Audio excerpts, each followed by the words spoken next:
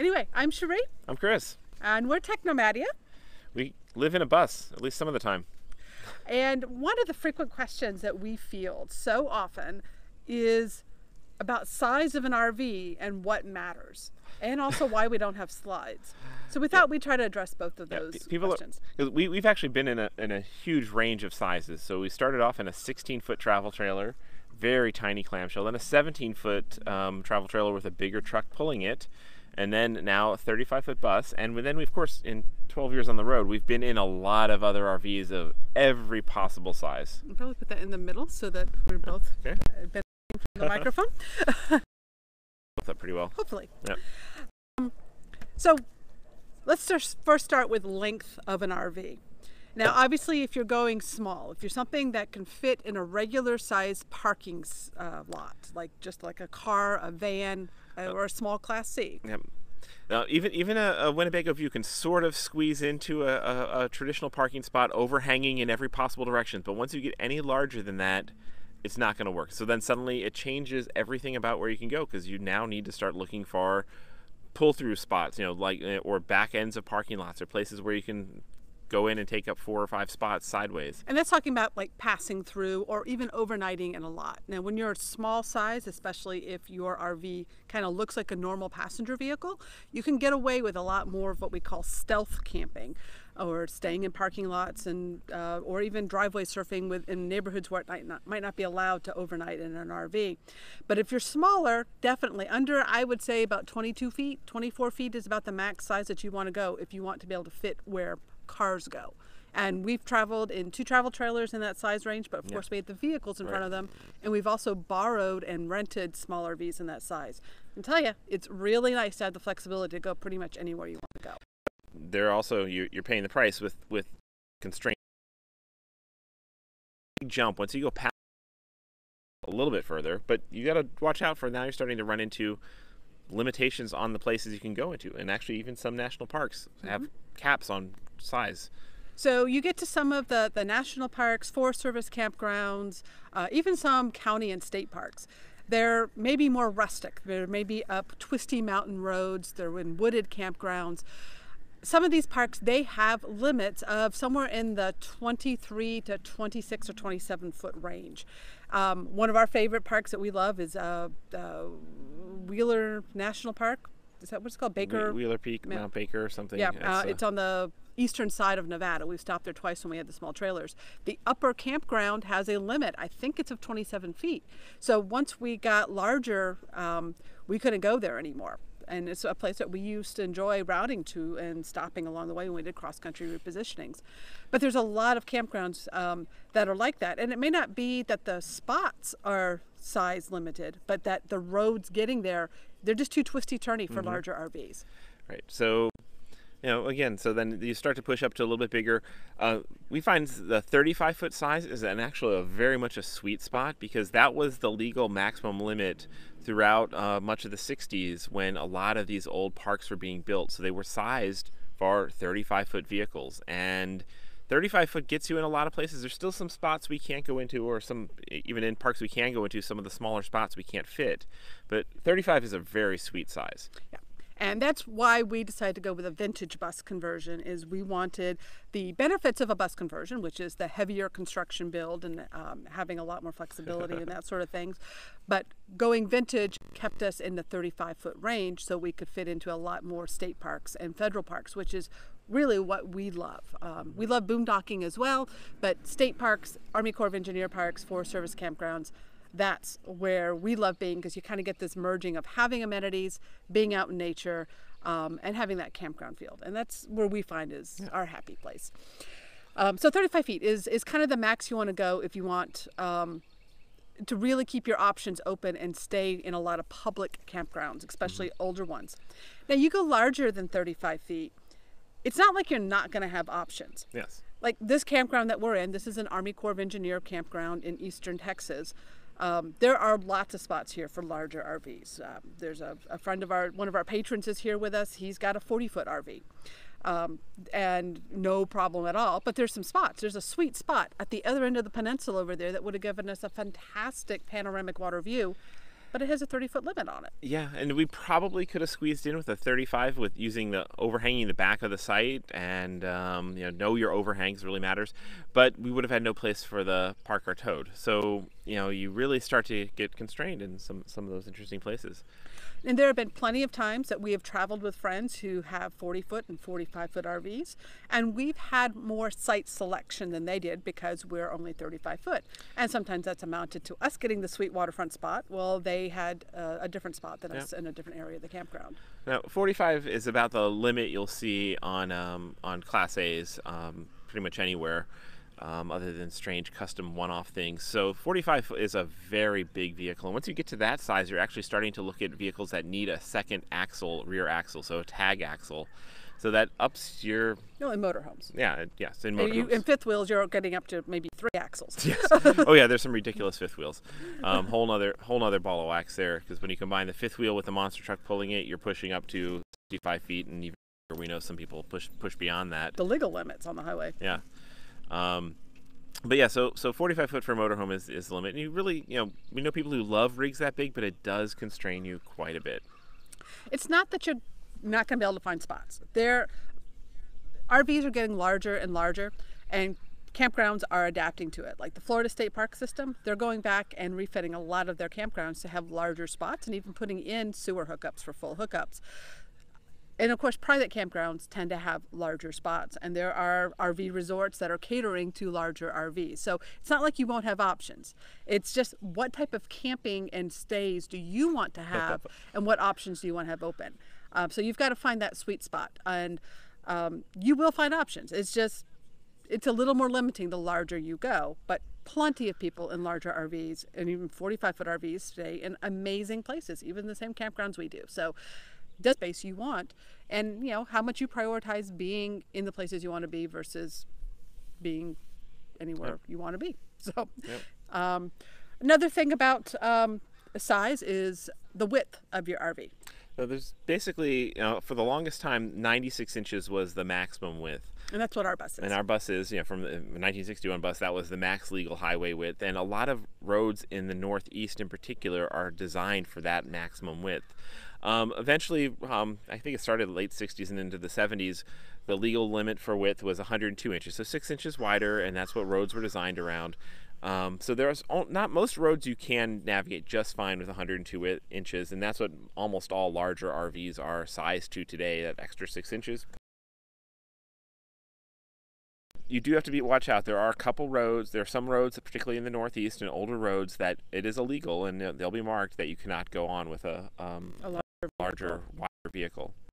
Um, and turns become a little more difficult. Traffic gets a little more intimidating in a larger size. So there are advantages to being narrower. Uh, we definitely do appreciate ours only being eight feet long. Um, but there's that. Um, another consideration is the height of your RV, and that impacts things like low clearances and also low, uh, trees and campgrounds that you have to navigate around. Now, the, the, most important thing with height is knowing your height, knowing exactly how tall your RV is, so that you don't freak out when you see the low clearance sign of you know 13 feet or 12 feet ahead. If you know you can get under it, you can relax. Um, do leave a margin of error, but know your height, know it inside and out. Um, and keep in mind that not just the height of the physical RV, but the things on top of your RV, your air conditioners, antennas, and things like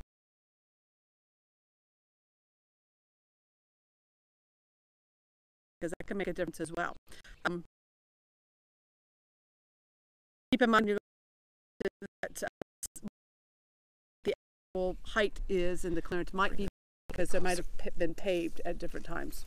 Let's see. Going in closer? Going in closer just brings it a little bit closer to the, the network too. There we are. Low clearances and avoiding crashing into bridges and things like that and knowing more about the height. So definitely know your height. Another consideration with size is the weight of your RV and there's the weight with it empty, and then there's the cargo capacity or the gross the gross vehicle weight. Yeah, one thing that's kind of criminal is how many new RVs are you know sold by the dealers, you know, fully decked out with options, and if you were to fill the water tanks, they're technically illegal to drive, and that, that actually happens. Um, so know what your actual carrying capacity is. You might be shocked if you have a, um, a lot of commercial RVs. Um, and uh, know when you're pushing it and when you're you might be over the limit or what the the road limits are you might want to drive down Yeah. So you might find some bridges have like, oh, you can only have a 15 ton vehicle. If you're over 15 tons, that can be difficult. Now RV is, uh, I think our gross is 32,000, but we weigh in at 24,000. That's an advantage of a bus conversion. uh, you have a lot of extra weight of to deal with it. Yes. even that's fully loaded. We had we did the Escapee SmartWeigh a couple years Yes. ago with all the tanks full and us in it and everything fully loaded. We're 24,000 pounds, so that's really nice to know for us. It's also important to know for how to properly inflate your. T- um, I think we're talking talk about slides. length with heights and now slides. Like we get the question all the time of like do you wish you had slides or when you did your renovation why didn't you put in slides and you know could you put in slides in this? And in our particular case our particular bus um, a gm 4106 is built unlike most other vehicles on the road in that it is a more and that means it would be structurally incredibly difficult to add slides to a, an rv like this to a bus conversion like this. So putting a slide on ours, no. And when you, what we found is because we're moving up from a 17 foot travel trailer going to a 35 foot bus, we were already going to be getting a lot of new space. So for us, having the extra space a slide would give us was not a deciding factor or important to us. So, and we're still happy with that decision seven years later on our bus. Yeah. It's it, a well designed, a smartly thought out interior is much more important than um, the space that uh, then slides. And you can actually, um, there's a lot of poorly thought out interiors with slides that make very, very poor use of space. And there's a lot of really smart thought out interiors with uh, non slide RV layouts that make incredible use of the space. So it comes down more to layout than anything else. So yeah, look at the layout that's right for you and those you're traveling with. Uh, no slides works great for us, but that doesn't necessarily mean it's going to be great for you because it really just so much comes down to your needs. and your preferences and Mm-hmm. and how um, um, claustrophobic you might be too. Mm-hmm. Some people really need to have that inside open up wide space. We've been in some 4106s, the same model of buses ours that were converted very differently than ours, where they made, made choices to put cabinetry down the entire length of the uh, RV. And to us, that made it feel much more claustrophobic. And that's one thing we really liked about the layout of ours. It has minimal cabinets on the walls, so that gives it On a the much upper more, walls, yeah. on the upper walls, it gives it much more of an open feel. And and a big giant full wall mirror on one side that just totally opens up the space. So the the our our living room feels more spacious than a lot of um, you know more modern traditional RVs with double slides and stuff. But that does mean that when we're hanging out with friends, maybe in a campground with a bunch of RVing friends, we're not hosting at our RV. We, Uh, we, we, we, we we could can have like five or six people over tops. uh, comfortably, maybe one other couple over for, for happy hour is comfortable for us. We don't have a dining table. We don't. We can't really host much in our RV, and and that's not a problem for us. We're introverts. we prefer to not necessarily host a lot of people. if we're going to host a big group, we do it outside. We'll have we'll Mhm. actually put a projector and the movie screen out, and we'll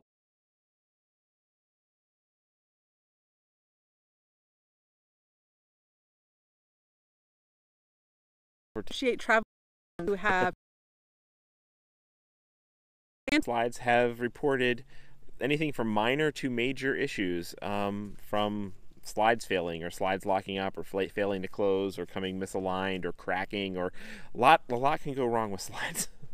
So we do like the simplicity of not having the setup and the take in. You know, when we get to a spot, we like to just pretty much park and be there. Uh. There's not much to our setup. We, we plug into the electric, maybe we fill water tank, Yeah, if we need electric. solar powered as well, having much to, to get going in the morning or to get parked for the day. Yes.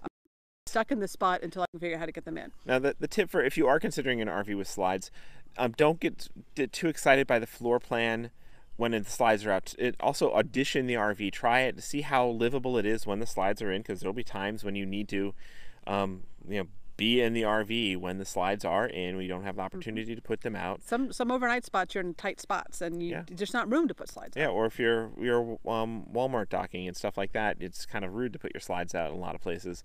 Um, so so make sure your RV is livable even when the slides are in. Some of them are nicely so, and some of them are you can't even open the fridge door. You can't get Uh, to the bathroom. yes. so Um, look at that, especially for full timing, if you want the flexibility, especially for overnight stays, or if your slides get stuck in. You know,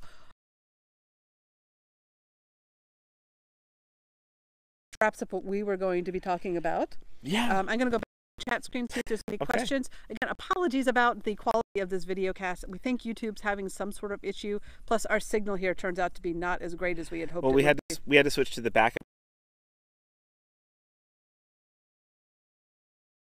Any questions? I put them in the chat window. Um, I'll try to uh, uh, look back and see if there's any questions here.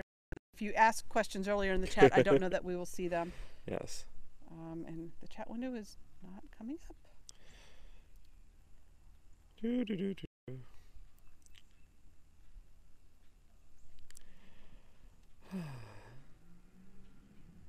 Yeah, it seems like the audio's been going in and out. Yeah. The This may not be one that gets archived.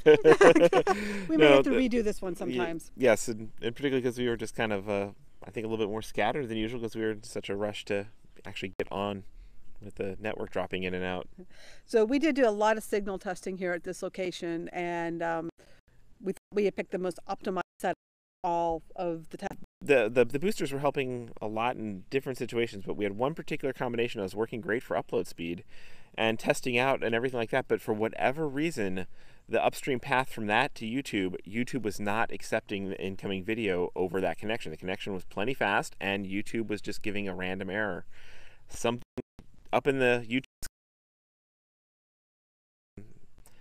Uh, that was you know we're on AT and T both ways, but that was just the one different connection to AT and T versus another um, was failing. So we had to go to the the secondary connection, secondary hotspot, and that one's upload speed is not nearly as good as the primary that we've been using. And um, yeah, kind of really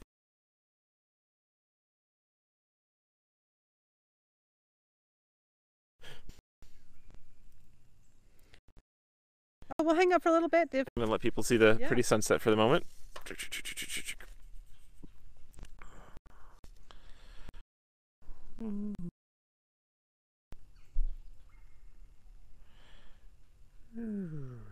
Yeah, we're on a pretty lake. Where are we? We're at a Hanks Creek campground.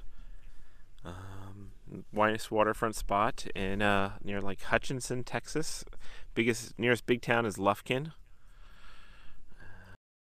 For the past week, we actually leave in the morning, and we are making our way to Fredericksburg, Texas, where we will be attending and presenting at the RV Entrepreneur Summit, which we are looking forward to. So we will be um, there through probably about mid March when we start heading back to Florida to the boat, leaving the bus for storage somewhere in Texas.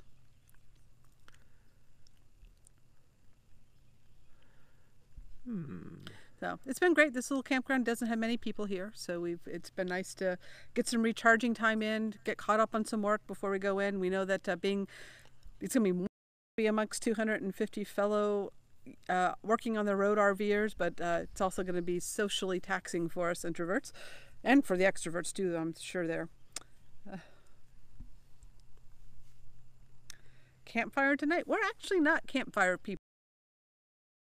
can bring out when we're socializing and, and it has uh, in general it's just the two of us uh, we prefer to curl up and uh, watch a movie in the evening after maybe a sunset walk and stuff like that Um, uh, Gregory says, "Love the new fifth edition of our book. It's necessary for practical network RV Well, usage." thank So you. thank you very much for that. Yeah, the book just came out. Uh, you can get more information on that. Our uh, work site. Um, I'd rather be skydiving says, have we figured out the details of the sale of our Mini Cooper? I think for now we've actually decided to keep it. We're going to drive it back to uh, to Florida, and since we're going to be doing some longer stays in marinas, we're just going to hopscotch it up the coast for a little bit. yep yeah so the mini's going to live on for another season Uh, Bear John wants to know how do we keep Kiki uh, from getting tangled on her lead? Um, she kind of does that on her own. So, she, she she's a master of knots when she wants to be tangled she can but be she is tangled she is currently she is currently tangled underneath her chair. oh goodness So, yes so but Okay. yeah, she she's uh she's been grown up on a leash, so she she, She- pretty much knows how to get tangled when she wants attention. And yes yeah it seems to be she only gets tangled when she wants attention when she's hunting or anything like that she knows how to untie herself very well okay Oh yeah, breathe the fresh air. We, we are still looking for the place to store our bus. We have, think we have a place lined up in Austin near where Cherie's brother is, who'll be able to keep an eye on it for us. So that should be our top. That'll be our top pick for bus storage. But we'll be worrying about that once we get to Austin and after the RV summit. Thanks, Julie. Yeah, I just got the hair chopped. It's always scary when you're on the road and you just walk into a random hair place and say, "Okay." I had asked her just to take a couple inches off. She went a little crazy. So definitely, a, definitely a, a new look. It's I'm still getting used to it. Oh, this is this is the first time we've seen uh, blue skies and sunshine I in know, almost all week. It's been dreary here A lot of rain. and very cold. It'll get in the mid 30s. That's why we did, one reason decided not to go as far north as we thought we would to, to route here. But uh, this has been a good stop.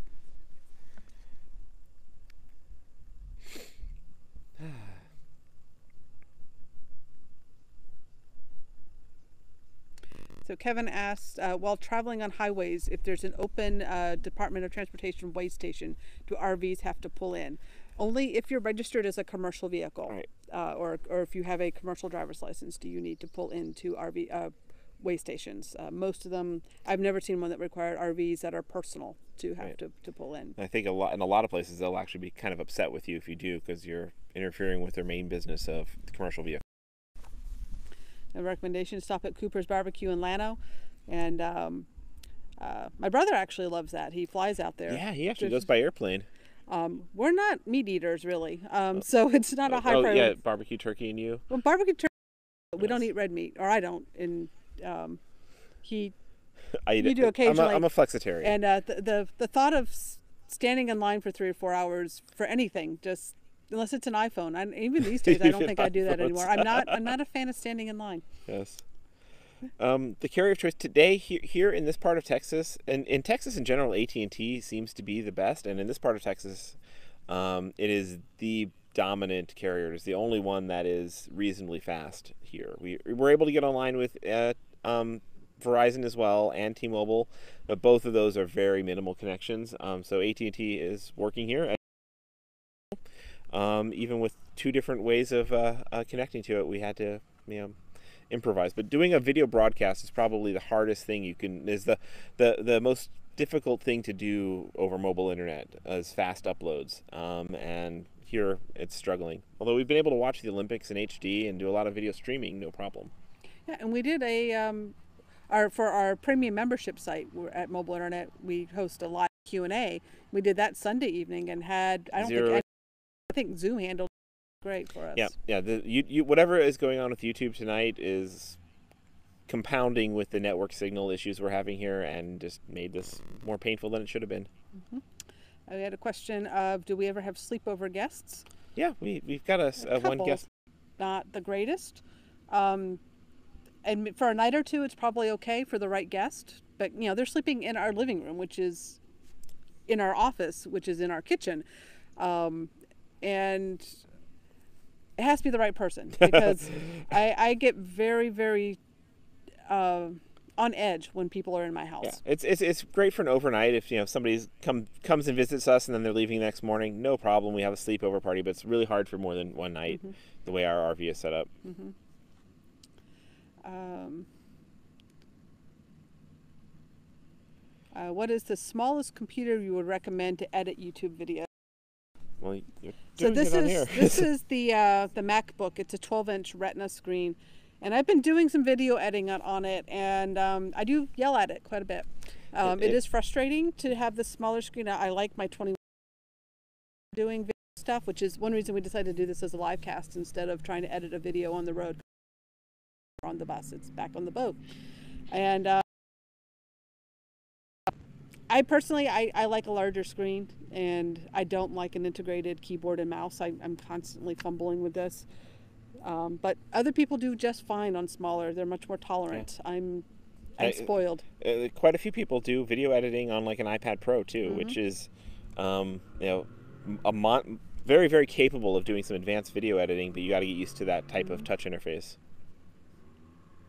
Uh, we have a question. Buses have a reputation for getting stuck when not on pavement. Do you have a Positive traction rear axle for boondocking? Um, no. Um, and yeah, we we we've really barely ever gotten stuck. Um, we've done some pretty off-road, soft conditions. Um, we've had to put wood boards down a few times, but um, we've got decent knobby tires. And Yeah, we, we did put knobby tires on the back to give us a little more traction. Um, and if we're at all concerned, one of us gets out and walks it, and if, Right. our, if our foot sinks, we don't go there. yeah, we, we and, and and also we try if we do are in some place marginal, we don't let the wheel stop spinning or stop moving. So we try to keep some momentum going. And so far, we've been really lucky. We've not gotten stuck. Gotten close a couple times, but not gotten stuck.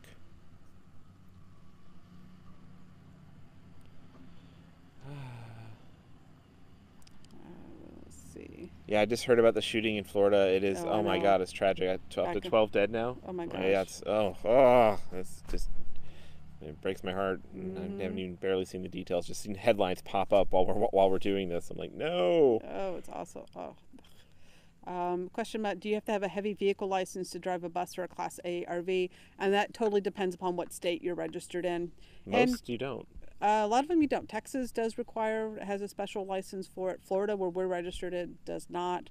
And there's a lot of confusion out there whether or not if you're driving in one of the states that requires it, if you need it. But you know, Florida doesn't offer one. If we're in Texas, Yeah. you know, like how do we get that endorsement? No, it's, it's, yeah, there's never been an issue with people um, Mm-hmm. going by their home state. So um,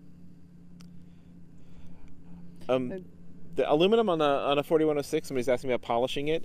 Um, the, it- it's always been a, um, a matte satin aluminum, and we love that satin look. It theoretically you could destroy the finish and then polish it, but that would be a lot of work, and then be it would tragic. Oh, and it would be tragic. You'd be destroying that that matte satin, which we think is absolutely gorgeous. I prefer the satin to the shiny. yeah, that's the way they came. So Yes. when uh, yeah, no no polishing. And yeah, once once you ruin the shi- the matte finish, then it's then it's ruined forever too. So Mm-hmm.